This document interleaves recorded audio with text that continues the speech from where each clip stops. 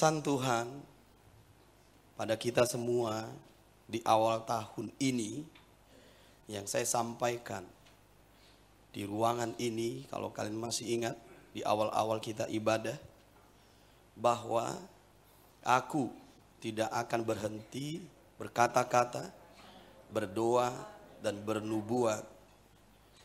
Dan ini pesan Tuhan bagi kita supaya ini kita lakukan dengan tekun. Mengapa? Karena ada janji yang besar yang mengikutinya di tahun ini. Tuhan akan menyatakan itu pada kita. Asal kita mengikuti, melakukan pesan Tuhan ini pada kita. Yaitu, aku tidak akan berhenti berkata-kata dan berdoa dan bernubuat. Mari kita buka Amsal 18 ayat 21. Bagaimana supaya kita tidak berhenti berkata-kata. Amsal 18 ayat 21. Hidup dan mati dikuasai lidah. Siapa suka menggemakannya akan memakan buahnya. Buah itu artinya tuayan.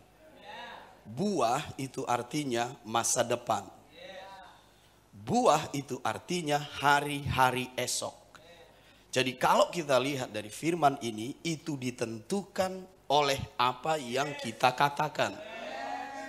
Hidup atau mati di masa depan, hari-hari yang baik atau buruk di masa depan, tuayan yang baik atau tidak baik di hari-hari ke depan ditentukan oleh apa yang kita katakan.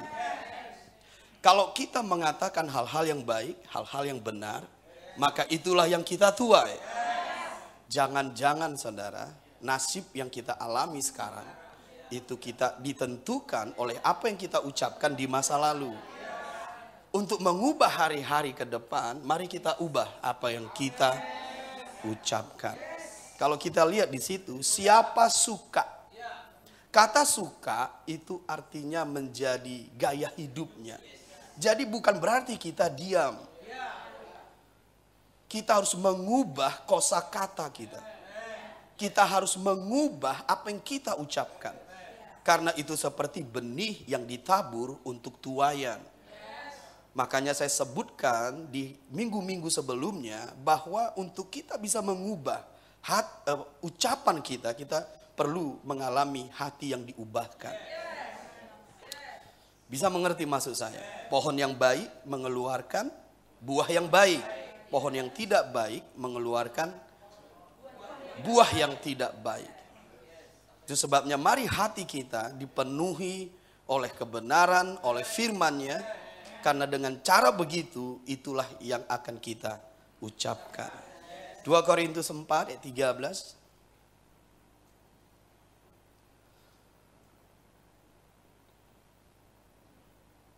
Namun karena kami memiliki roh iman yang sama. Seperti ada tertulis. Aku percaya sebab itu aku berkata-kata. Maka kami juga percaya. Dan sebab itu kami juga berkata-kata. Roh iman di situ disebutkan adalah bagi mereka yang berkata-kata. Tapi sebelum mereka berkata-kata, mereka lebih dulu percaya. Mengapa mereka percaya? Karena yang tertulis di dalam firman tertulis di hati mereka. Dengan cara begitu, kata-kata kita bersumber dari firman di hati kita. Kalau kita lihat di situ ada tertulis, tidak lagi di Alkitab tapi di hatimu. Dengan cara begitu, aku percaya. Kalau aku percaya, aku berkata-kata. Apakah yang kukatakan? Apa yang ada di hatiku? Paham maksud saya? Dan kalau kata-kata itu sumbernya dari firman, maka itulah yang akan menjadi hal-hal ke depan yang kita alami. Hidup dan mati dikuasai lidah. Siapa suka menggemakannya akan memakan buahnya. Biarkan kita suka menggemakan firman yang tertulis di hatimu. Sebab firman yang tertulis di hatimu kalau kita ucapkan itu menjadi firman iman. Firman iman menyebabkan kita mengalami. Sebab firman berkata di Roma pasal 10, jika kamu mengaku di mulutmu, percaya di hatimu, maka kamu akan mengalami. Itulah sebabnya saya katakan minggu lalu, kalau firman itu kita taruh di pikiran kita, kehilangan kuasanya. Tapi kalau firman itu ditaruh di hati kita, dia kelihatan kuasanya. Karena firman di Roma pasal 10 berkata, kamu akan mengalami keselamatan, kebenaran, kesembuhan jika kamu mengaku dengan mulutmu, percaya di hatimu. Jadi firman iman datang dari roh iman. Roh iman itu sederhana. Ada tertulis, aku percaya sebab itu aku berkata-kata. Penting sekali saudara untuk kita tidak berhenti berkata-kata dengan kebenaran yang seperti ini. Maka hari-hari ke depan menjadi hari-hari penggenapan firman dalam hidup kita. Karena itulah yang akan kita alami. Itu sebabnya Paulus berkata bahwa kita tidak boleh berhenti berkata-kata dari sumber firman yang ditulis di hatimu. Paham maksud saya? Kemudian yang ketiga saya berkata, jangan berhenti berdoa. Mari kita buka Yesaya. Yesaya 62 ayat yang ke-6.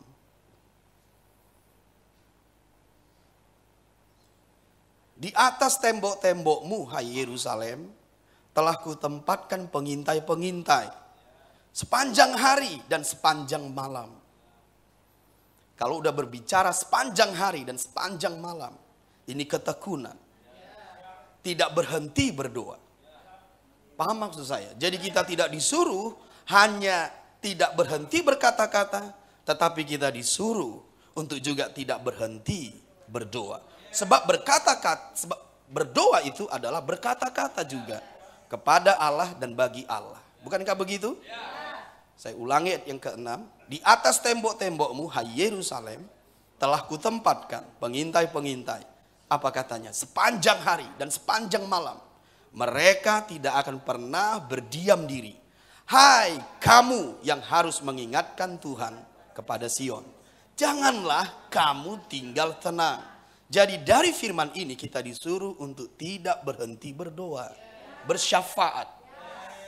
Ayat satunya oleh karena Sion aku tidak dapat berdiam diri. Dan oleh karena Yerusalem aku tidak akan tinggal tenang. Itulah kita.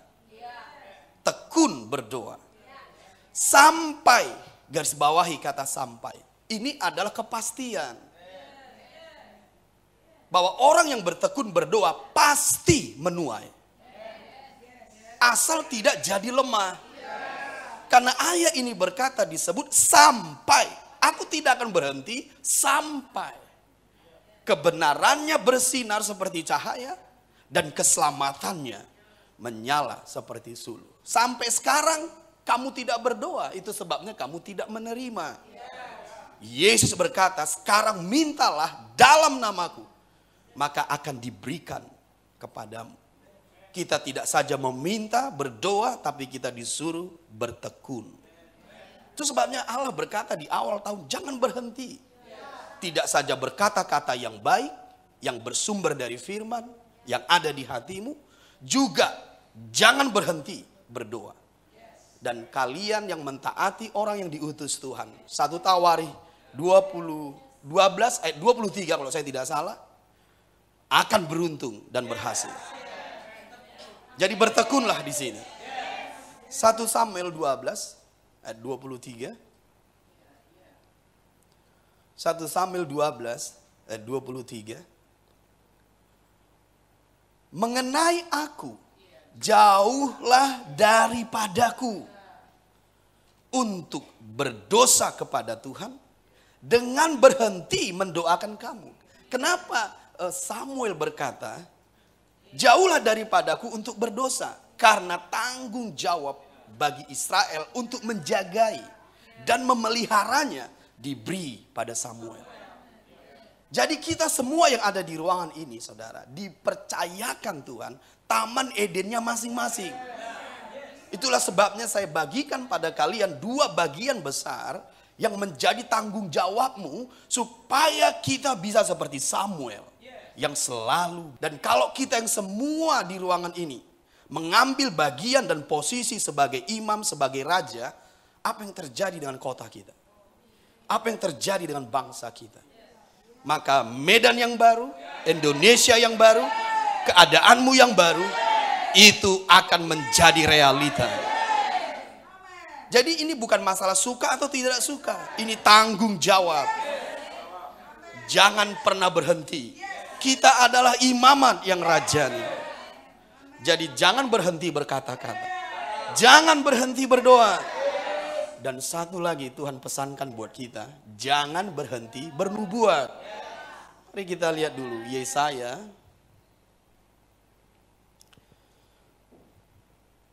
Yesaya 6 bernubuat juga. Tuhan pesankan bagi kita, jangan berhenti. Mari kita lihat Yesaya 6 ayat yang ke-8. Lalu aku mendengar suara Tuhan berkata, Siapakah yang akan kuutus? Dan siapakah yang mau pergi untuk aku? Maka sahutku, ini aku, utuslah aku. Kemudian firmannya, pergilah dan katakanlah kepada bangsa ini. Apa maksudnya itu? Yesaya menjadi juru bicara Tuhan. Yesaya menjadi nabi yang mewakili Tuhan bagi Israel. Yang artinya pergilah, bernubuatlah. Itu maksudnya. Di situ disebutkan, dengarlah sungguh-sungguh, tetapi mengerti jangan. Lihatlah sungguh-sungguh, tetapi menanggap jangan. Buatlah hati bangsa ini keras. Dan buatlah telinganya berat mendengar. Dan buatlah matanya melekat tertutup. Supaya jangan mereka melihat dengan matanya. Dan mendengar dengan telinganya. Dan mengerti dengan hatinya. Ini tugas. Ini tugas yang diberikan Tuhan pada Yesaya. Lanjut. Apa yang dilakukan Yesaya dengan tugas itu? Lihat dengan mengerti dengan hatinya lalu berbalik dan menjadi sembuh. Ayat 11 perhatikan. Kemudian aku bertanya, sampai berapa lama? Ya Tuhan. Ini artinya sampai berapa lama ini artinya hal ini kulakukan terus menerus. Apa itu bernubuat? Karena ada tugas. Dia harus bernubuat. Sebagai imamat yang rajani, kita yang di ruangan ini pun harus bernubuat. Sampai kapan? Sampai tugas selesai. Dan di situ disebut ayat 11, kemudian aku bertanya, sampai berapa lama? Tuhan, lihat jawaban Tuhan. Lalu jawabnya, sampai ini bicara tuntas. Selesai. Jangan jadi lemah di tengah jalan atau selesai sebelum tugasnya selesai. Di situ Tuhan berkata sampai kota-kota telah lengang sunyi sepi, tidak ada lagi yang mendiami, dan di rumah-rumah tidak ada lagi manusia, dan tanah menjadi sunyi dan sepi. Saya tidak sedang membahas tugasnya Yesaya, saya hanya mau membahas bahwa prinsip bernubuat sampai tugasmu selesai. Jadi bernubuat itu juga tidak berhenti-henti. Mari kita uh, menguatkan firman ini dari Wahyu pasal 10. Wahyu pasal 10 ayat 11. Wahyu pasal 10 ayat 11. Maka ia berkata kepadaku pada Yohanes ini. Bisa paham? Karena Yohanes mendapat penglihatan di Pulau Patmos. Maka ia malaikat ini berkata kepadaku. Perhatikan, engkau harus bernubuat lagi kepada banyak bangsa dan kaum dan bahasa dan raja. Mengapa? Karena tugas belum selesai. Jadi sampai Medan yang baru. Sampai kebenarannya bercahaya. Sampai keluargaku dipulihkan. Sampai Indonesia yang baru. Aku akan bernubuat terus. Paham, paham pesan Tuhan ini? Saya mau kita mendengar Tuhan kuat sekali hari ini.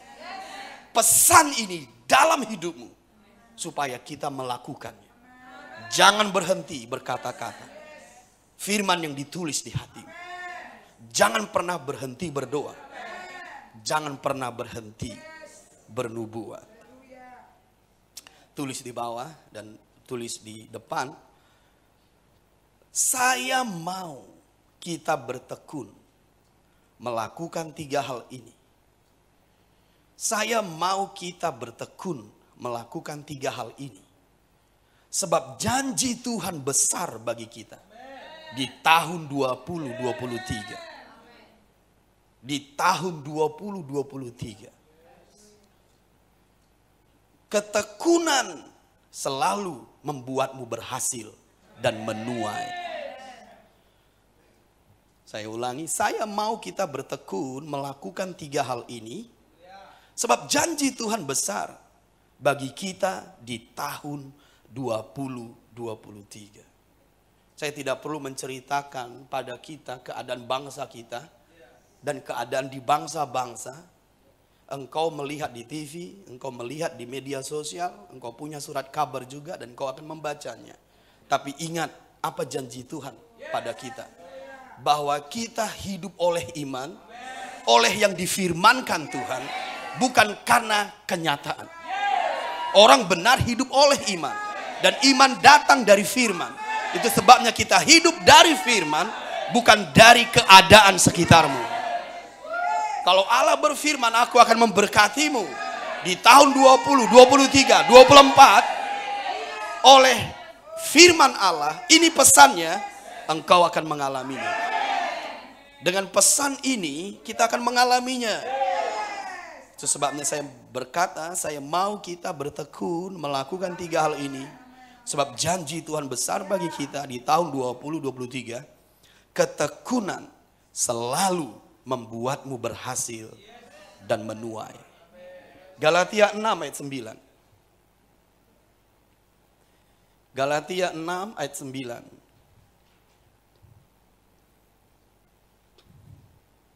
Janganlah kita jemu-jemu berbuat baik. Berkata-kata dari firman yang tertulis di hatimu adalah berbuat baik. Berdoa berbuat baik.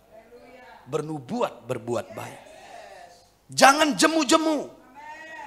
Karena apabila sudah datang waktunya. Ini kepastian saudara. Ini kepastian. Kita akan menuai jika kita tidak menjadi lemah. Apa maksudnya tidak menjadi lemah? Kau berhenti bertekun. Lemah itu roboh. Lemah itu tembok yang bolong. Jadi berteku, berhenti bertekun itu maksudnya. Paham maksud saya? Engkau akan menuai Mari kita lihat Ibrani pasal 10.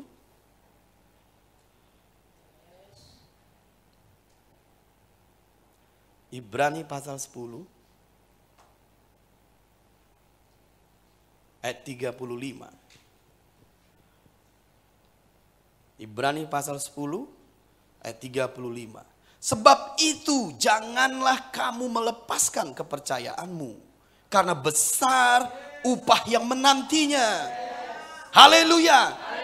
Sebab kamu memerlukan ketekunan. Supaya sesudah kamu melakukan kehendak Allah. Apa kehendak Allah bagi kita? Jangan berhenti berkata-kata, berdoa, bernubuat. Kamu memperoleh apa yang dijanjikan itu. Saya ulangi, kamu memperoleh apa yang dijanjikan itu. Sesudah kamu melakukan kehendak Allah. Kita memerlukan ketekunan.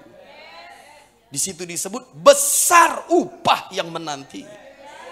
Coba saya mau kita ke Galatia 6 ayat 9. Saya ingin memberi nasihat tentang mengapa kita lemah. Galatia 6 ayat 9. Janganlah kita jemu-jemu berbuat baik. Ada beberapa orang yang menjadi lemah. Berhenti bertekun. Karena apabila sudah datang waktunya kita akan menuai jika kita tidak menjadi lemah. Apa yang membuat kita menjadi lemah atau berhenti bertekun? Kita melihat yang kita doakan, yang kita perkatakan belum jadi. Lalu iblis, roro jahat, teman-teman, bahkan diri kita berkata, engkau sia-sia berdoa. Engkau sia-sia berkata-kata. Ingat kepala rumah ibadat Yairus? Ketika dia berkata kepada Yesus, datanglah Tuhan, taruh tanganmu ke anakku, dia akan sembuh. Dia hampir mati. Tapi di tengah jalan perempuan pendarahan menginterupsi perjalanan Yesus. Jadi mereka kehilangan waktu saat itu. Perempuan pendarahan disembuhkan. Lalu datanglah hamba dari kepala rumah ibadat ini dan berkata kepada Yairus, Sudah, jangan menyusahkan guru, anakmu sudah mati. Apa kata Yesus? Percaya saja. Ketika kita mulai melihat keadaan tidak berubah, yang kita doakan, perkatakan, nubuatkan, belum kita lihat ada hasilnya, Yesus akan datang dan berkata, "Percaya saja." Karena orang benar hidup karena percayanya. Percaya saja. Dan Yesus datang ke rumah Yairus dan anaknya pun dibangkitkan dari kematian. Jadi lemah karena kita tidak melihat. Ingat, engkau memerlukan ketekunan. Yang kedua, kita mulai melihat diri kita apa ya yang salah. Apa yang salah? Saya tidak melihat ada perbuatan-perbuatan yang benar, yang baik, yang hebat dari janda yang tekun kepada hakim itu. Saya tidak melihat apa kehidupan benarnya. Dia hanya bertekun saja.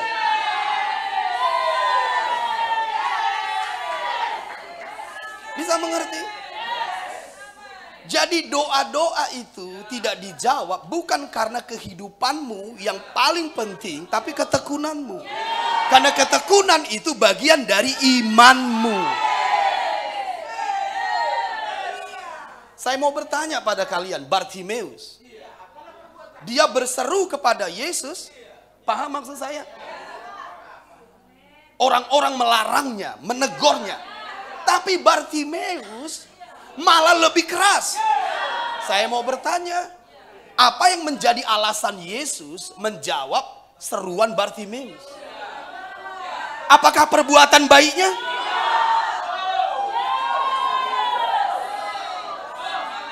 Bartimeus, anak Timeus. Timeus itu artinya najis. Berarti Bartimeus, anak najis. Tapi seruannya dijawab Yesus. Apa yang membuat Bartimeus mendapatkan jawaban ini? Dia mengenal Yesus. Dia mengenal Yesus. Yesus menerimanya. Yesus mengampuninya. Yesus membenarkannya. Dan dia tidak peduli apa kata orang. Dia tidak peduli keadaannya. Aku mengenal Yesus. Dia baik, dia menyembuhkan, dia memulihkan. Aku akan berteriak lebih keras lagi dan lebih keras lagi. Dan dengarkan apa kata Yesus. Apa yang bisa ku perbuat untukmu? Yesus tidak berkata seperti ini. Hei, apa yang sudah kau lakukan? Kejahatan apa yang sudah kau lakukan? Dosa apa yang sudah? Tidak ada. Yesus langsung berkata, apa yang bisa ku perbuat untukmu? Lalu Bartimeus berkata, Tuhan supaya aku melihat. Jadilah seperti imanmu. Coba, iman Bartimeus, iman seperti apa? Saya mau bertanya, Perbuatan baik apa yang sudah dia lakukan? Doa macam apa yang sudah dia buat? Jadi sering engkau lemah Karena engkau menilai dirimu salah. Sudahlah, bertekun saja. Bertekun saja. Terus menerus. Terus menerus. Karena engkau mengenal Bapamu baik. Yesusmu baik. Dua hal ini sering kali membuat kita lemah. Satu kita melihat kenyataan. Tidak menjadi realita yang kita doakan itu.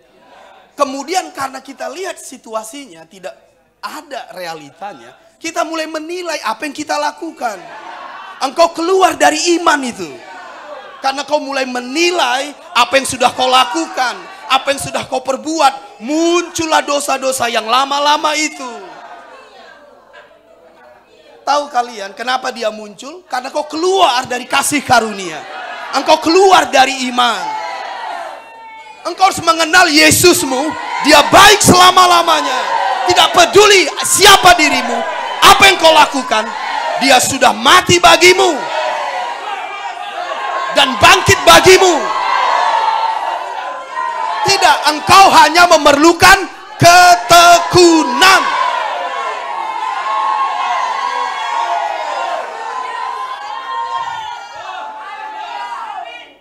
Engkau hanya memerlukan ketekunan. Saya mau bertanya padamu, apa yang sudah dilakukan perempuan Sirofenisia itu? Anaknya dirasuki roh jahat. Lalu Yesus berkata, oleh karena kata-katamu, oleh karena imanmu. Dia bukan orang Israel. Dia orang Yunani. Dia orang Yunani. Berkebangsaan Sirofenisia. Tapi Allah, Yesus berkata, besar imanmu. Karena iman itu dasarnya pekerjaan Kristus, bukan perbuatanmu. Engkau akan lemah bertekun kalau kau menilai dirimu salah. Ayat ini berkata di Ibrani, engkau memerlukan ketekunan. Titik. Amin dua kali. Good.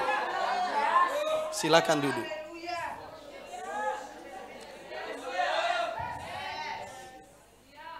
Markus 4. Markus 4.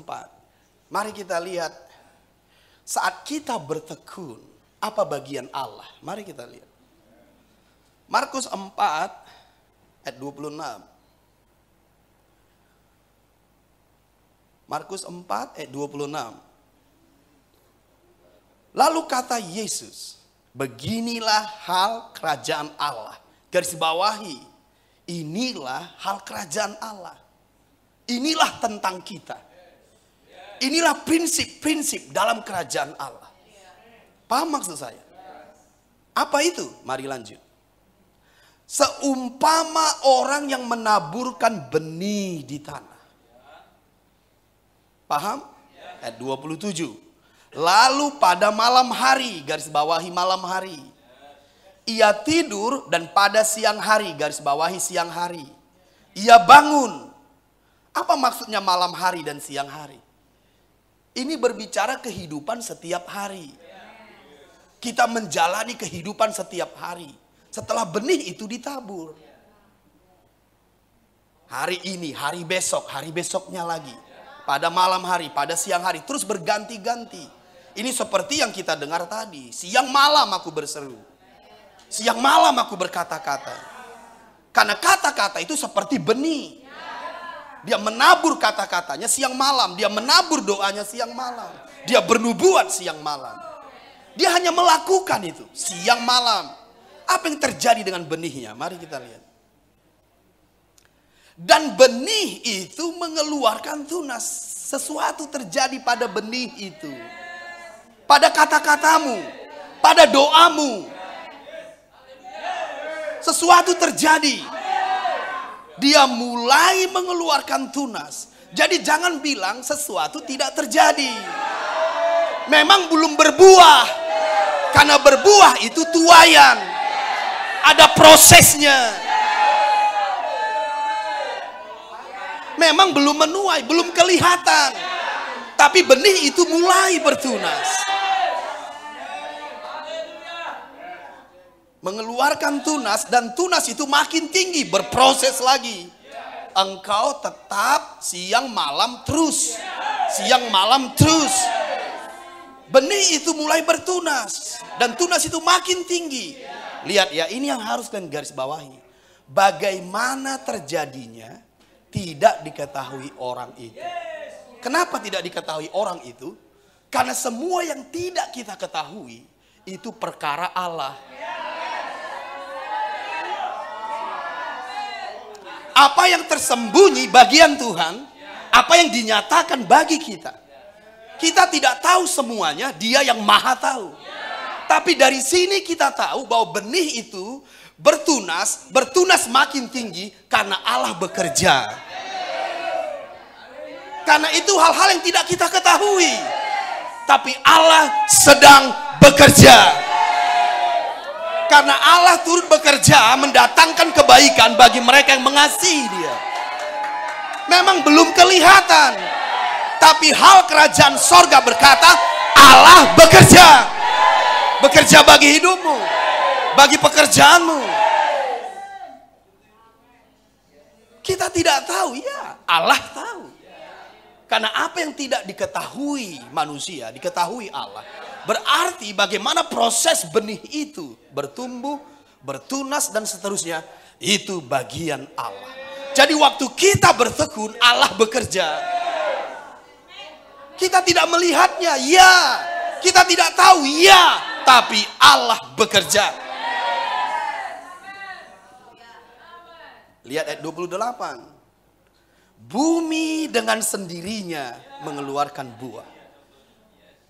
Karena Allah bekerja, kata buah menuai. Mula-mula tangkainya, lalu bulirnya, kemudian butir-butir yang penuh isinya dalam bulir itu. Apabila buah itu sudah cukup masak, orang itu segera menyabit sebab musim menuai sudah tiba. Ada kepastian? Ada kepastian? Ada waktu menuai? Waktu menuai ditentukan dua hal. Engkau menabur dan engkau bertekun. Waktu menuai ditentukan dua hal. Engkau menabur dan engkau bertekun. Papaku sudah menabur. Amin. Sekarang bertekunlah. Apa yang kau tabur? Kata-kata. Apa yang kau tabur? Doa. Apa yang kau tabur? Nubuatan. Berikutnya bertekunlah. Karena buah itu pasti. Makanya Ibrani pasal yang ke-10 berkata, besar upahnya. Engkau memerlukan ketekunan. Sampai kapan Tuhan? Sampai selesai. Sampai kau lihat itu menjadi nyata. Tidak berkata-kata, tidak bernubuat, tidak bernubuat, tidak terjadi apa pun. Mungkin kalian mengenal seorang hamba Tuhan dan penulis yang terkenal di masa lalu namanya Charles Spurgeon. Dia berkata seperti ini. Siput pun oleh karena ketekunannya sampai ke Batra.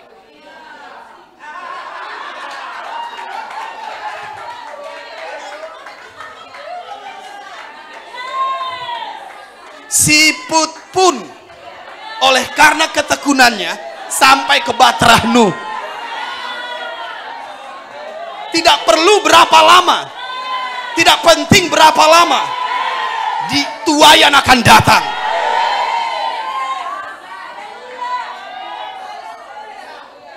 Mungkin singa lebih cepat. Tapi siput toh sampai juga kan. Yang penting dia bertekun.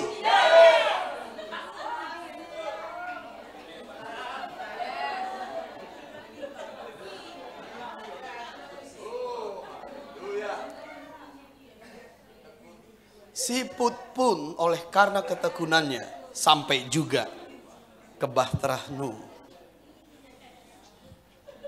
Hal yang pasti bagi kita adalah menuai. Asal engkau tidak lemah. Menaburlah anak-anakku dengan kata-katamu, dengan doamu, dan dengan nubuatan. Waktu menuai pasti datang. Itulah hal kerajaan sorga. Tulis di bawah Bagaimana aku bisa dapat berkata-kata, berdoa, dan bernubuat dengan baik dan benar? Mungkin ini pertanyaan beberapa orang di ruangan ini. Bagaimana aku bisa dapat berkata-kata? Seperti yang Tuhan ajar, seperti yang Papa ajarkan, seperti yang Papa bagikan. Aku bukan orang yang fasih berbicara, fasih berkata-kata. Kadang aku tidak fokus dan lain-lain.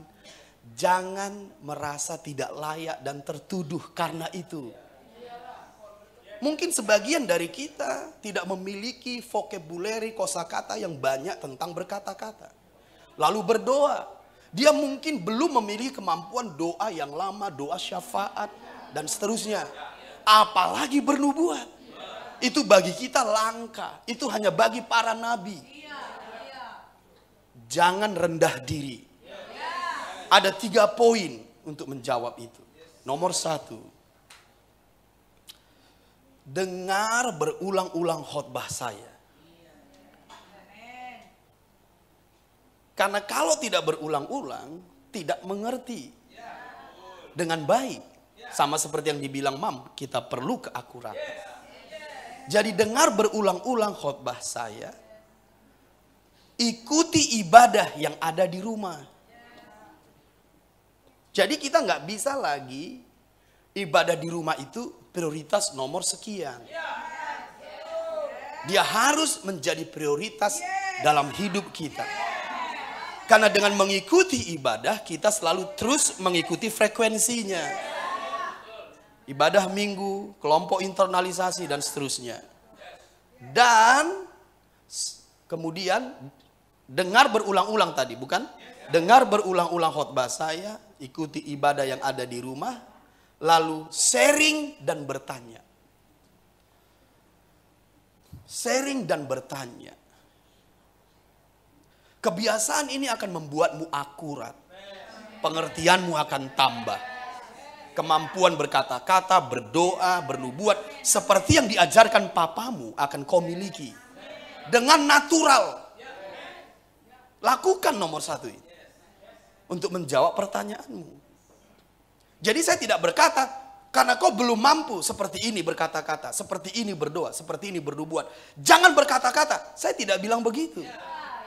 Itu sesuatu yang harus dipelajari. Makanya untuk mempelajarinya natural saja. Dengar berulang-ulang khotbah saya. Ikuti ibadah yang ada di rumah, sharing dan bertanya. Secara alamiah engkau akan bertumbuh untuk berkata-kata, untuk berdoa dan bernubuat. Nomor dua, bertindaklah. Tidak perlu harus sempurna.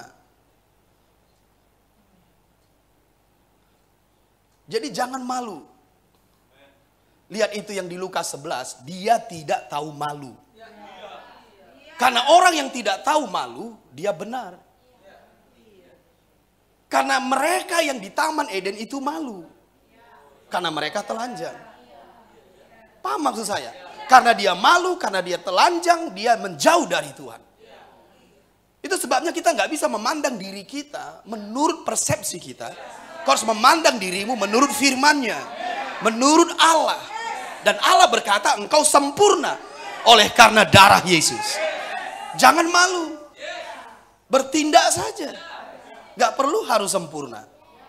Paham maksud saya? Kok wajahnya sedikit perlu pertanyaan. Nomor dua, bertindaklah. Tidak perlu harus sempurna. Tidak perlu malu. Tidak perlu merasa tidak layak. Paham maksud saya? Kalau kita malu, pintu tidak dibuka. Karena malu itu upah dari gambar diri yang salah.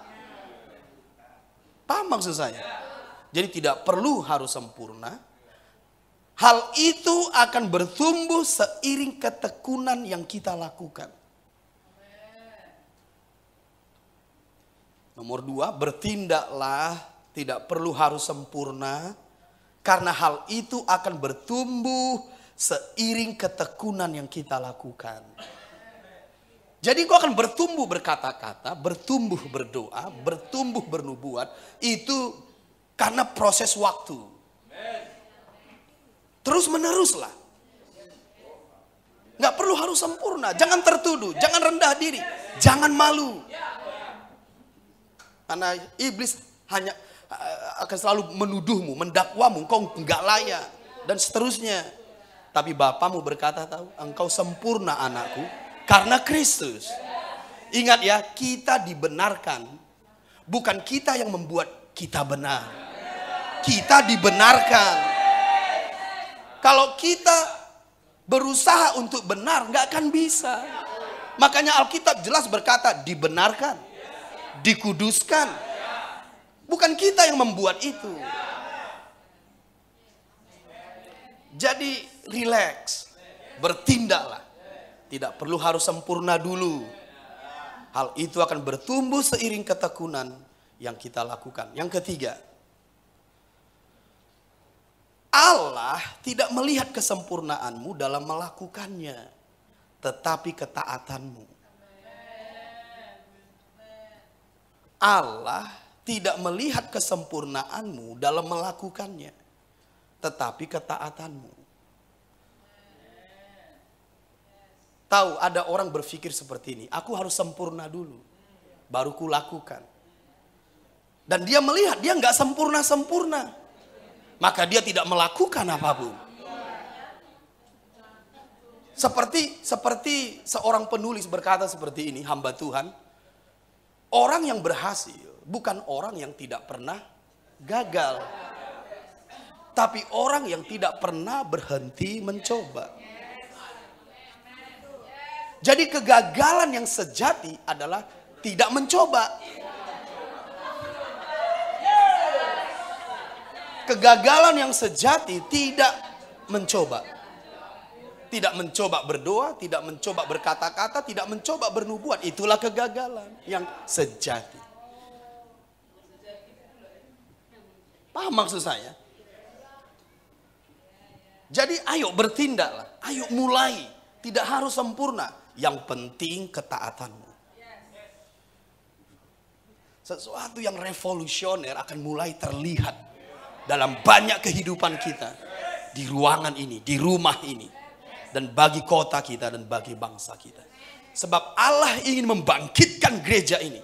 Menjadi gereja yang berdoa, yang bernubuat, yang berkata-kata sebab kita adalah imamat yang rajani. Kita eklesia. Haleluya. Bagaimana pemerintahan Allah dilaksanakan dengan perkataan. Sebab Allah pun melaksanakan kekuasaannya dengan sepatah kata. Kalau gereja tidak berkata-kata dan tidak berdoa dan tidak bernubuat, bagaimana Allah bekerja? Karena dia meneguhkan firman yang kau sampaikan dan Allah meneguhkan firman yang disampaikan murid-muridnya. Jadi kita harus melepaskan perkataan dan Allah meneguhkannya. Haleluya. Jangan berhenti berkata-kata. Jangan berhenti berdoa. Dan jangan berhenti bernubuat. Tidak perlu sempurna anak-anakku. Lakukan dengan ketaatanmu. Haleluya. Tulis di bawah dengan memahami dan menghidupi kebenaran. Dengan memahami dan menghidupi kebenaran tentang berkata-kata, berdoa, dan bernubuat. Sesungguhnya kita sedang memasuki dimensi tentang kunci-kunci kerajaan.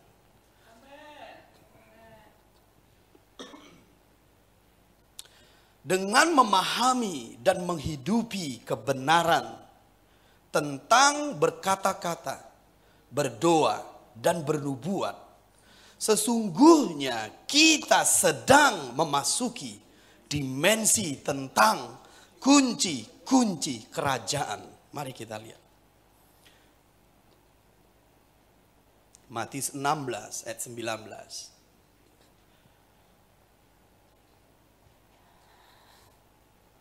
Matius 16 ayat 19.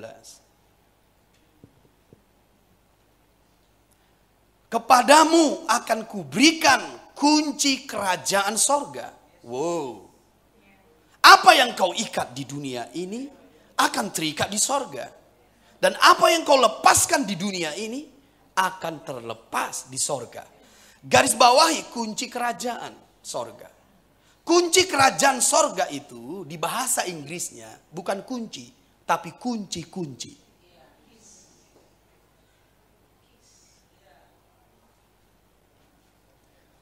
Itu adalah kunci-kunci kerajaan sorga. Dengan kunci itu kita mengikat, dengan kunci itu kita melepaskan. Bayangkan itu saudara, powerfulnya. Dengan kunci itu kita mengikat, dengan kunci itu kita melepaskan. Boleh saya ambil contoh praktis? Kalau saya punya mobil, saya membuka pintu mobil, betul? Salah. Kunci itu yang membukanya.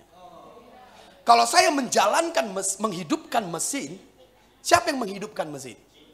Kunci itu. Kalau tidak ada kunci itu, kita tidak bisa masuk. Dan kita tidak menghidupkan mesin. Kita perlu kunci itu. Dan Yesus berkata, kepadamu sudah kuberikan kunci. Kunci kerajaan. Kalau kau buka, dia terbuka. Kalau dia kau mengikat, dia terikat. Kunci-kunci kerajaan sorga. Mari kita buka dulu Yesaya. Yesaya 22 ayat 22.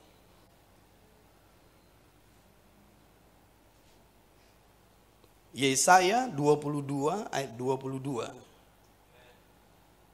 Aku akan menaruh kunci rumah Daud ke atas bahunya.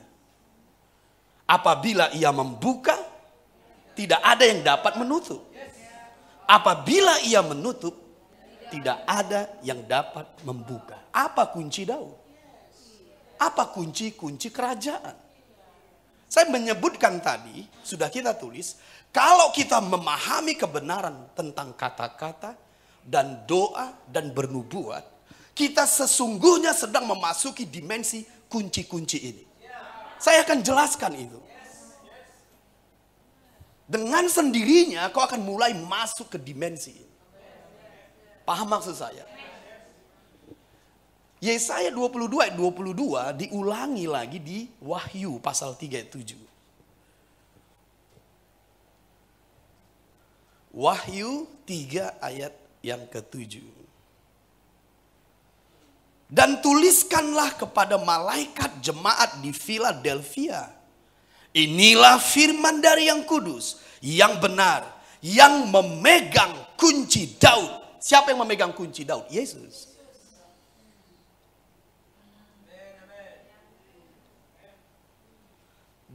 Apabila ia membuka, tidak ada yang dapat menutup.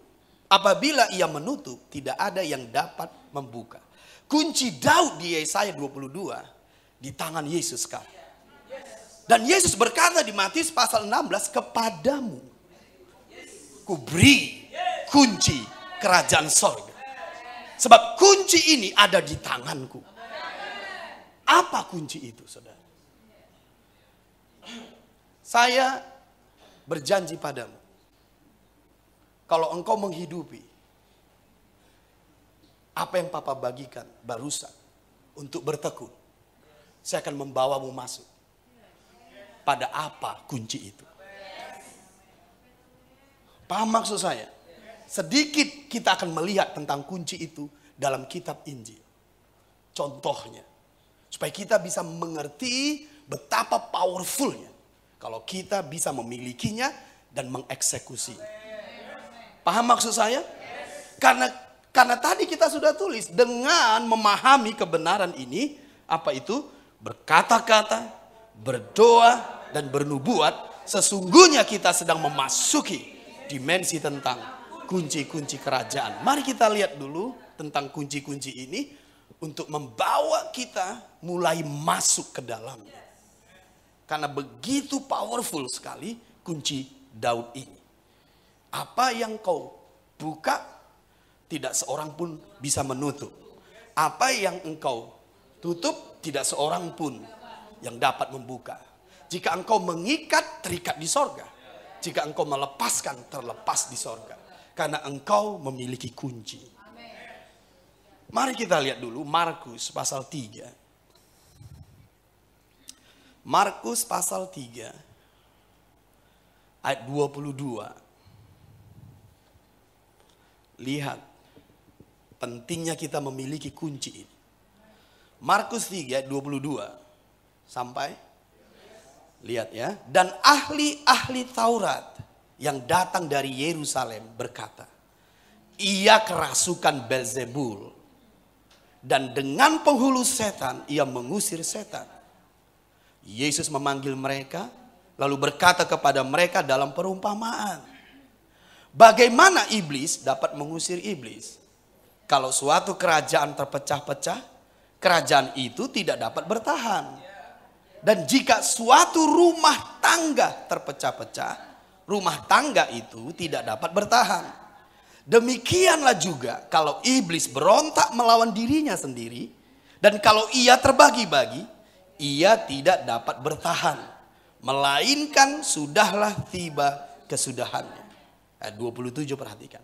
Tetapi tidak seorang pun dapat memasuki rumah seorang yang kuat untuk merampas harta bendanya Apabila tidak diikatnya dahulu orang kuat itu. Sesudah itu barulah dapat ia merampok rumah itu. Kita harus punya kunci untuk melepaskan dan mengikat. Bisa mengerti maksud saya? Kita harus punya kunci untuk membuka rumah itu dan mengikat iblis. Sebab kalau kita tidak memilikinya, iblis tidak akan bisa kita usir. Paham maksud saya? Mengerti maksud saya ini? Ayat 27, mari kita lihat.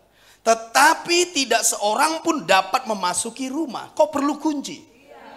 Seorang yang kuat untuk merampas harta bendanya apabila tidak diikatnya. Jadi membuka dan mengikat. Kok perlu kunci? Karena kalau tidak iblis tetap akan menguasai rumah itu. Rumah ini bisa kita gambarkan sebagai hidupmu. Bisa kita gambarkan sebagai hidup orang-orang yang kita kasihi.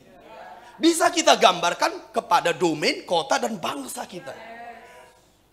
Kita harus memiliki kunci ini untuk merebut rumah itu.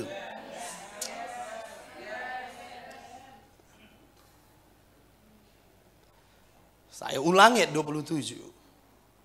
Tetapi tidak seorang pun dapat memasuki rumah seorang yang kuat untuk merampas harta bendanya. Pertama untuk kau bisa masuk, kau harus membuka rumah itu. Kau perlu kuncinya.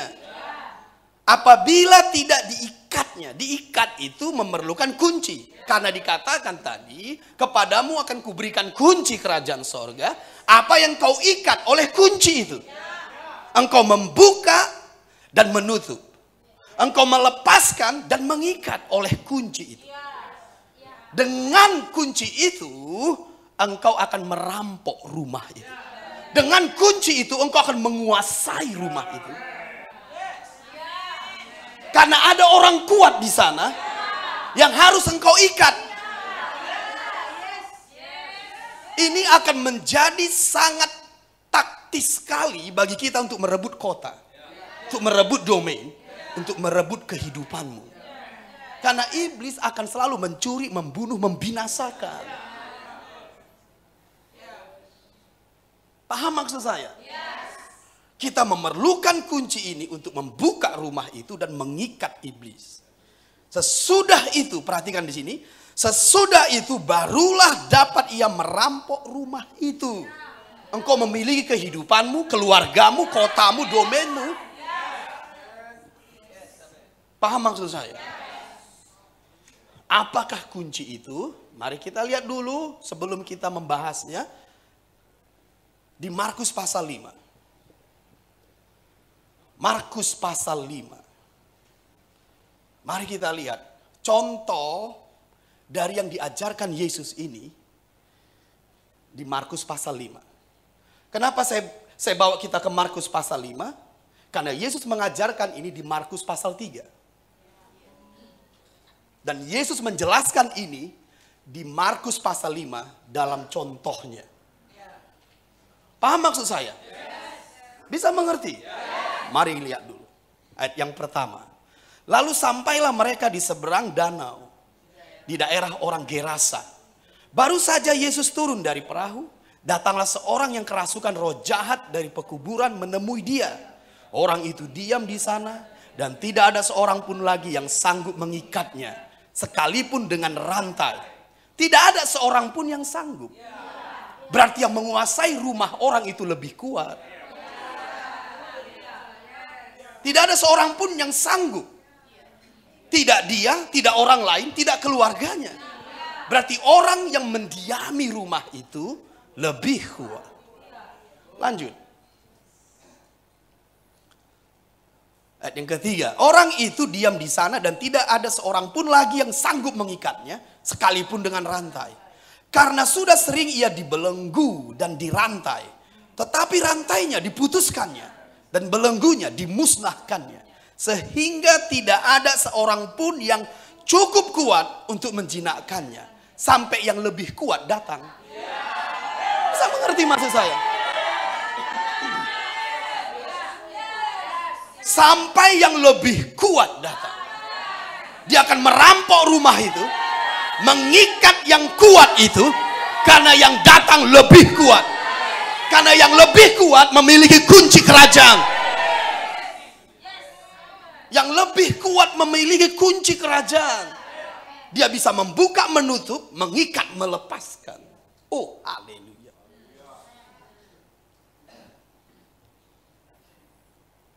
Ayat 5, siang malam ia berkeliaran di pekuburan dan di bukit-bukit sambil berteriak-teriak dan memukuli dirinya dengan batu. Siapa yang menyebabkan kehidupan orang ini begini? Iblis, legion dalam cerita ini.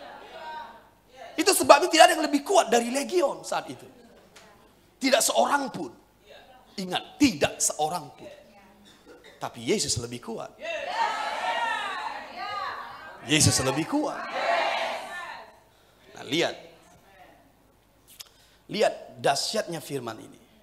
Ayat yang ke-6. Ketika ia melihat Yesus dari jauh, berlarilah ia mendapatkannya lalu menyembahnya karena dia tahu siapa Yesus. Dan dengan keras ia berteriak, "Apa urusanmu dengan aku, hai Yesus, anak Allah yang maha tinggi? Demi Allah, jangan siksa aku." Siapa yang lebih kuat? Karena Yesus punya kunci. Yesus punya kunci. Lihat di situ. Ayat 8. Karena sebelumnya Yesus mengatakan kepadanya, "Hai engkau roh jahat, keluar dari orang ini. Lepaskan dia. Pergi. Lepaskan dia." Itu sebabnya Yesus berkata pada kita, "Hei engkau yang percaya, engkau akan mengusir setan-setan." Karena tidak seorang pun kecuali kau punya kunci itu untuk mengusirnya. Paham maksud saya? Ayat yang ke sembilan. Kemudian ia bertanya kepada orang itu, siapa namamu? Jawabnya, namaku Legion, karena kami banyak. Ia memohon dengan sangat supaya Yesus jangan mengusir roh-roh itu keluar dari daerah itu. Adalah di sana di lereng bukit sejumlah besar babi sedang mencari makan. Lalu roh-roh itu meminta kepadanya katanya, suruhlah kami pindah ke dalam babi-babi itu, biarlah kami memasukinya. Yesus mengabulkan permintaan mereka. Lalu keluarlah roh-roh jahat itu dan memasuki babi-babi itu. Kawanan babi yang kira-kira 2000 jumlahnya itu terjun dari tepi jurang ke dalam danau dan mati lemas di dalamnya. Maka larilah penjaga-penjaga babi itu dan menceritakan hal itu di kota dan di kampung-kampung sekitarnya. Lalu keluarlah orang untuk melihat apa yang terjadi. Mereka datang kepada Yesus dan melihat orang yang kerasukan itu duduk sudah berpakaian dan sudah waras. Orang yang tadinya kerasukan legion itu, maka takutlah mereka. Siapa sekarang yang memiliki kehidupan orang tadi? Yesus. Karena Yesus lebih kuat. Kalau kita tidak lebih kuat dan tidak memiliki kunci ini, kita tidak akan mampu merampok rumah itu dan menguasainya. Kalau begitu siapa yang menguasai? Iblis, roh-roh jahat. Ini yang membuat kita perlukan kunci ini. Kalau tidak, tua yang tidak akan terjadi. Medan tidak akan bisa kita menangkan. Indonesia tidak akan bisa kita menangkan. Orang-orang yang kau kasihi pun tidak bisa kau menangkan. Karena dia perampok, dia pencuri. Mengerti maksud saya? Tapi kalau kita lebih kuat dan memiliki kunci ini, kita membebaskan mereka. Demi nama Yesus. Ayat 19. Yesus tidak, sorry, ayat yang ke 16. Orang-orang yang telah melihat sendiri hal itu menceritakan kepada mereka tentang apa yang telah terjadi atas orang-orang yang kerasukan setan itu dan tentang babi-babi itu. Lalu mereka mendesak Yesus supaya ia meninggalkan daerah mereka. Kenapa mereka mendesak? Karena bagi mereka yang dilakukan Yesus ini berbahaya. Mereka berpikir kerugian demi kerugian akan kami alami. Karena mereka melihat babi-babi itu terjun ke jurang. Dan ini bisa berbahaya bagi kami. Kami tidak mengenal pekerjaanmu Tuhan. Ini baru terjadi, menghebohkan, menakutkan. Belum pernah kami lihat. Dan bagaimana orang itu engkau bebaskan, bagaimana babi-babi terjun ke jurang, mereka memiliki persepsi Yesus berbahaya. Itu sebabnya mereka mengusiri.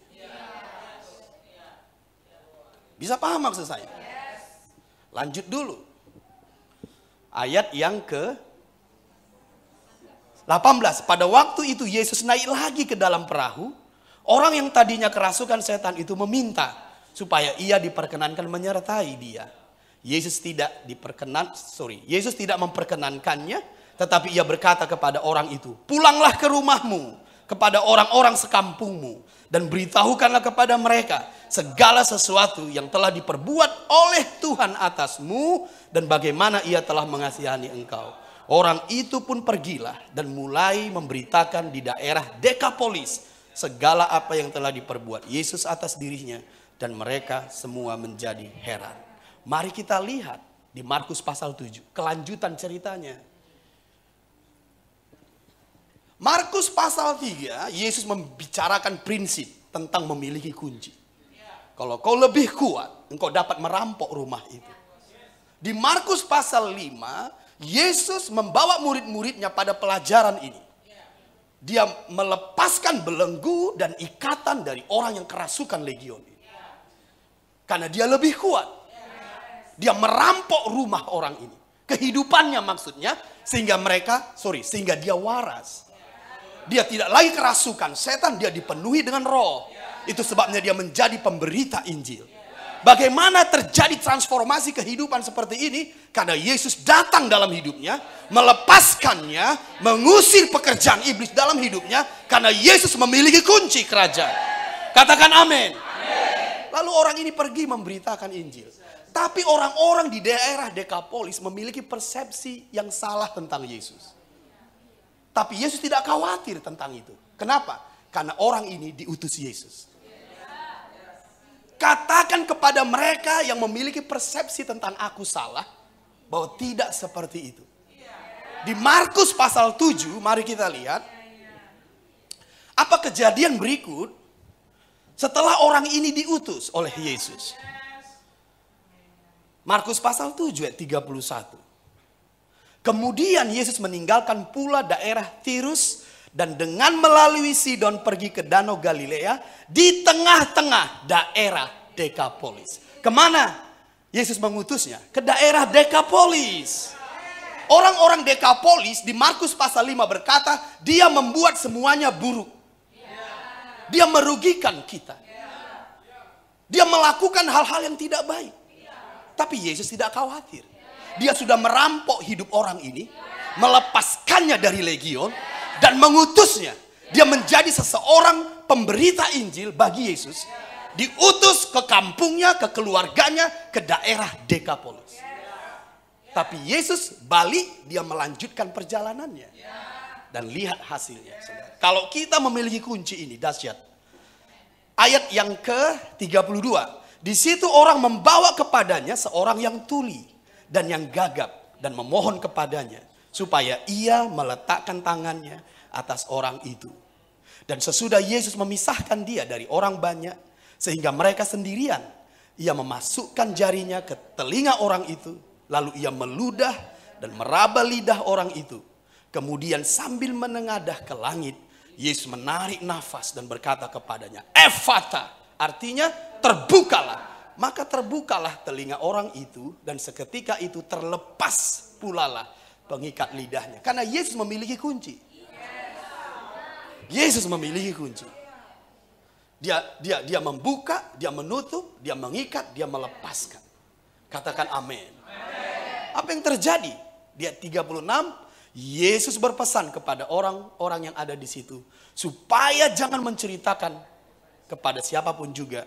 Tetapi makin dilarangnya mereka, makin luas mereka memberitakannya. Ayat yang ke-37 perhatikan. Mereka takjub. Siapa mereka ini? Yang di daerah Dekapolis tadi. Mereka takjub dan tercengang dan berkata sama-sama.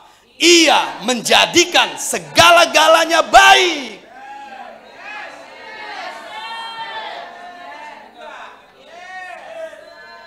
Begitulah cara kita merampok kehidupan orang, merampok rumah, kota dan bangsa ini. Eh, kalian bisa mengerti jalan-jalannya ini. Lihat di ayat itu, ia menjadikan segala-galanya baik. Yang tuli dijadikannya mendengar, yang bisu dijadikannya berkata-kata. Mereka tidak lagi berkata, engkau membuat hal yang buruk. Engkau menjadikan semua baik. Apa yang pertama dikerjakan Yesus? Dia merampok kehidupan orang ini. Lalu kemudian Yesus merampok keluarga orang ini. Karena Yesus berpesan pulanglah ke rumahmu. Pulanglah ke kampungmu. Jadi hidupnya, keluarganya, kampungnya. Come on. Dia dia merampok kehidupan orang ini yang semula diikat legion lalu merampok rumahnya, merampok kampungnya. Sorry kalau saya pakai kata merampok, oke. Okay? Kemudian daerah Dekapolis, 10 kota. Dekapolis artinya 10 kota. Begitulah caramu juga memperlebar kekuasaan Tuhan. Oleh sebab engkau memiliki kunci. Paham maksud saya? Pertama engkau merampok rumah satu orang. Kemudian satu keluarga kemudian satu kota, kemudian sepuluh kota, kemudian bangsa. Itu sebabnya kita penting untuk mengetahui apa kunci ini. Mari kita buka Matius pasal 16. Matius pasal 16 ayat 19. Kepadamu akan kuberikan kunci ini. Haleluya. Jadi bukan hanya pada Yesus saja, tapi pada kita gerejanya. Pada engkau eklesia. Engkau imamat yang rajani. Ini saatnya engkau memakai kunci ini. Bagi keluargamu. Bagi orang-orang yang kau kasihi. Bagi kotamu, bagi bangsamu. Katakan amin. Dan kunci ini adalah kata-kata. Dan kunci ini adalah kata-kata. Dan saya akan menjelaskan ini bahwa ini bukan sembarang kata-kata, saudara. Saya akan membagikan kepadamu dalam firman bagaimana ketika kunci ini dipraktekkan, kata-kata ini dilepaskan, kau akan melihat dahsyatnya, saudara. Karena kunci kerajaan itu kata-kata. Bukankah nama Yesus kata-kata? Tapi tidak sembarangan mengutip nama Yesus. Karena anak-anak sekewa pun mengutip nama Yesus, tapi setan tidak pergi. Karena ini bukan sembarang kata-kata. Makanya disebut kunci-kunci. Karena ini adalah kata-kata. Makanya dengan engkau memasuki dimensi berkata-kata, berdoa, dan bernubuat. Sesungguhnya engkau sedang dibawa masuk kepada kunci Daud. Kunci kerajaan. Kunci-kunci untuk merampok kehidupan, keluarga, kota, dan bangsa ini. Itu sebabnya terkadang kita berpikir bagaimana tuayan bisa terjadi. Engkau perlu kunci untuk membuka, untuk menutup, untuk mengikat, untuk melepaskan. Amin dua kali. Dan mulailah dulu bertekun, berkata-kata, berdoa, bernubuat. Dengan itu engkau akan lebih mudah mengerti apa yang Papa sampaikan. Oleh anugerah Tuhan. Roh Kudus akan membawa kita ke dimensi ini. Apa itu? Melaksanakan kunci kerajaan dalam hidupmu. Yang adalah kata-kata. Ketika kata-kata ini kau lepaskan, legion akan tunduk. Iblis akan tunduk. Ketika kata-kata ini kau lepaskan, kota dan bangsa pun bisa kita jangkau. Bisa mengerti maksud saya? Boleh saya ambil contoh? Ingat peristiwa ketika Yesus menghadapi suatu uh, keadaan ketika orang-orang Farisi membawa orang yang kedapatan berzina masa mengerumuni Yesus. Siap-siap untuk mengadili Yesus apa ucapannya terhadap orang yang kedapatan berzina. Saya kadang berpikir begini, bagaimana kalau saya ada di situasi itu? Yang semua orang sedang membawa batu untuk melempari perempuan. Itu bukan keadaan yang mudah. Lalu mereka berkata kepada Yesus, Guru menurut hukum Musa, dia harus dilempari pakai batu. Karena mereka ingin mencoba Yesus. Kalau Yesus berkata, ya, maka mereka akan berkata, engkau berarti penurut hukum Taurat. Padahal dia tidak meneguhkan hukum Taurat. Dia sedang meneguhkan hukum yang baru. Paham maksud saya? Tapi kalau Yesus berkata, jangan lempari berarti Yesus setuju dengan dosa. Coba, bagaimana keadaan itu? Engkau perlu kunci di sini. Makanya saya sebut bukan kunci, kunci-kunci. Nah, lihat.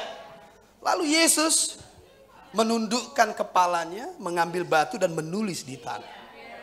Dengarin papa ya. Supaya kalian bisa mengerti kunci ini. Dengarin.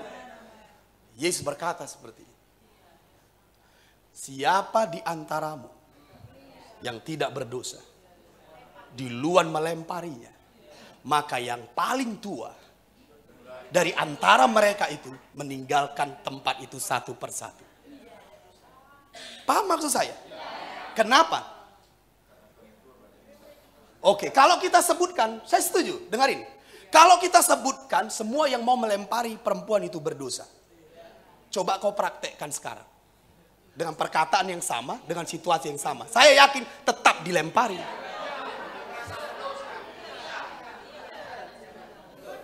Tes saja. Kutip firman tadi coba.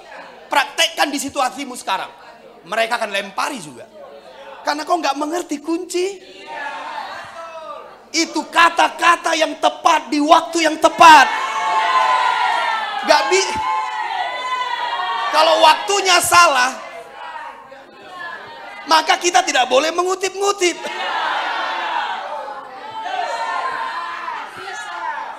Kadang kita anak-anak sekewa coba mengutipnya.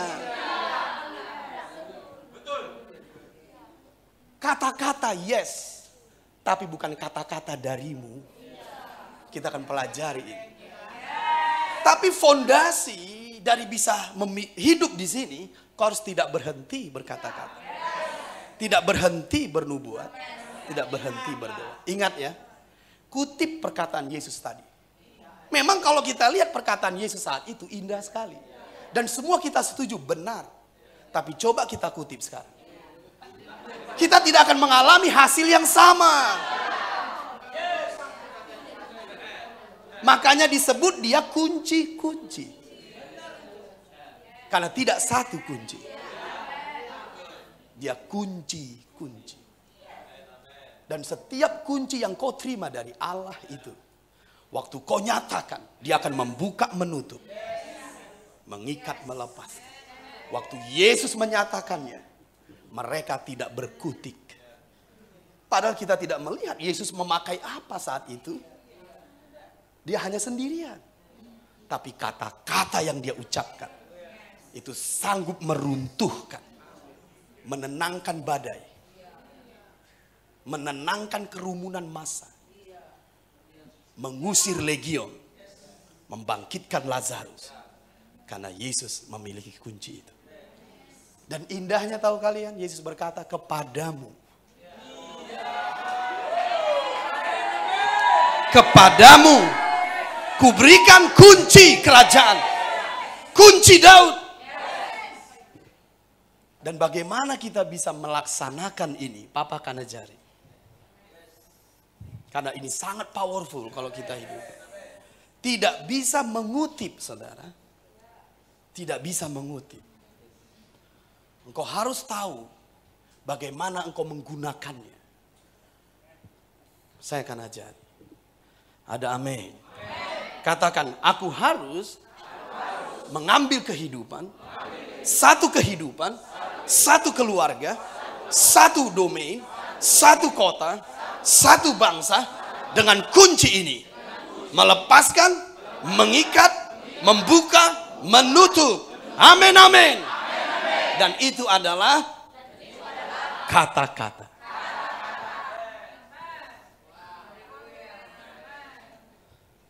Haleluya. Dan itu adalah kata-kata. Anak-anak sekewa coba mengutip apa yang dikatakan Paulus. Karena mereka melihat yang dilakukan Paulus itu berhasil.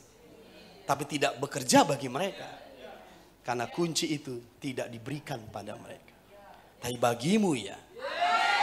Apa yang terjadi kalau engkau tidak berhenti berdoa? Tidak berhenti berkata-kata? Tidak berhenti bernubuat? Saya yakin hal-hal yang besar akan terjadi. Hal-hal yang hebat, yang luar biasa akan terjadi padamu. Matius pasal 4. Matius pasal 4. Lihat ini saudara. Dan inilah yang akan kita kerjakan di hari-hari ke depan. Sebab engkau memiliki kunci. Apa itu? Matius 4 ayat 23. Yesus pun berkeliling di seluruh Galilea. Ia mengajar dalam rumah-rumah ibadat dan memberitakan Injil Kerajaan Allah serta melenyapkan segala penyakit dan kelemahan. Katakan segala penyakit. Segala penyakit. Kelemahan. kelemahan. Apalagi sekarang ya, penyakit aneh-aneh, macam-macam. Rumah sakit penuh, bukan gereja yang penuh, rumah sakit penuh. Mengapa saudara? Karena kita melihat keadaan situasi sekarang ini memang membuat orang-orang mudah jatuh sakit. Tapi ingat, engkau memiliki solusi. Mengapa? Engkau memiliki kunci dan kuasa yang diberi Yesus.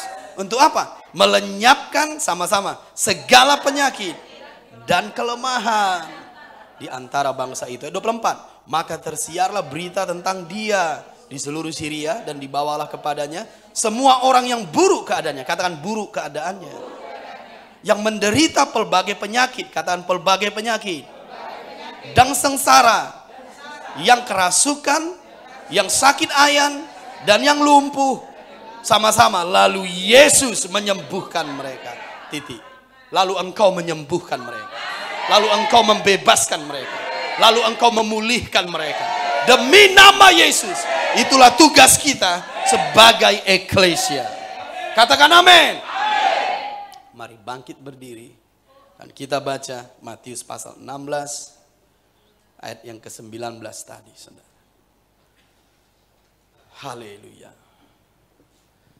Sama-sama kita membaca 2 3. Matius 16 19. 2 3 ya.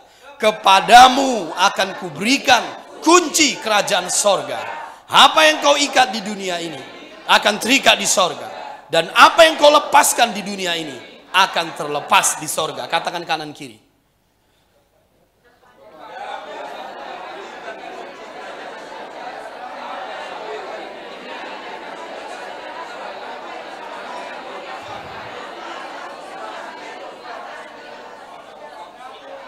Satu ayat lagi.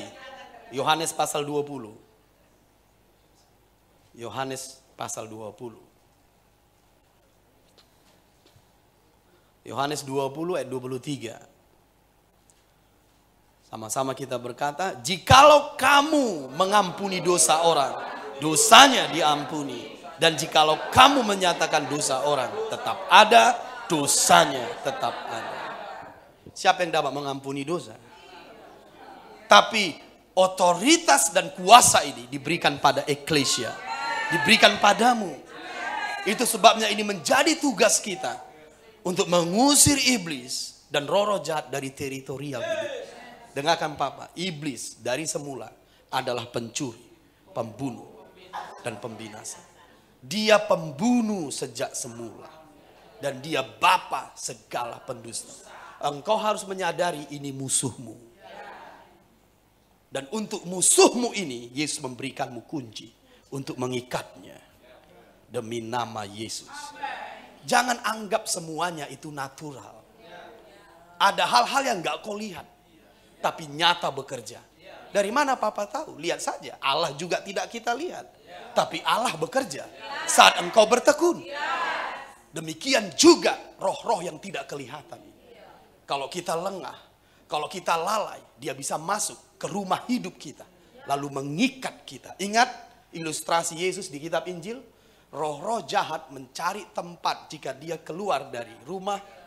Bisa mengerti? Mencari tempat-tempat yang tandus tapi tidak menemukannya. Dia kembali lagi. Karena dia selalu mencari rumah. Yaitu hidup orang-orang. Kita tidak lagi biasa melihat kenapa uh, ayah, ibuku, saudaraku, teman-teman yang kukasihi susah sekali diselamatkan. Tidak, saudara. Kau harus bisa melihat apa di balik dari semua itu. Tentulah pekerjaan kegelapan. Pekerjaan kegelapan. Engkau harus bertekun berdoa. Engkau harus melepaskan otoritas Allah terus menerus. Dan kita tidak lagi melihat sekitarmu natural. Jangan. Kalau kau melihat itu natural, engkau tertipu. Engkau tertipu. Baca kitab Injil, Yesus selalu berurusan dengan dua hal yang paling dominan. Setan dan penyakit. Setan dan penyakit. Segala penyakit dan setan. Karena ini adalah hal yang paling dominan membuat keadaan manusia buruk, tapi engkau diberi kuasa dan otoritas. Saya yakin kita akan mengalami tuayan yang besar kalau kita menghancurkan pekerjaan iblis. Karena hanya kepadamu diberikan kunci ini. Katakan amin. Haleluya. Amin. Saudara bisa paham maksud saya? Yohanes 20 23 sudah kita baca? Amin.